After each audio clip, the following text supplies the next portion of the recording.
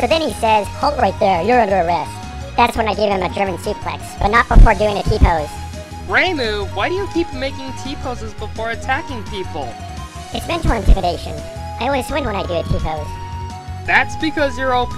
You could wear a clown costume and do a silly dance before attacking and still win. How do you know about my secret technique? Hi, Cirno. Oh? Who's this? She's made by a company called Daiyousei, but I can't figure out what appliance she is. Maybe she's a toaster? I'm not sure, maybe a microwave? How about a fan? Hmm, maybe. How about we ask her parents? They should know. Good idea.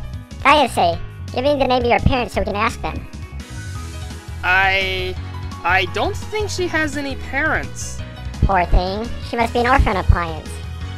Hi, Reimu. Ari-san. Hi! Hi, Cirno. Oh, who's your little friend? We've been calling her Daiyousei, but we're not sure what kind of appliance she is. What?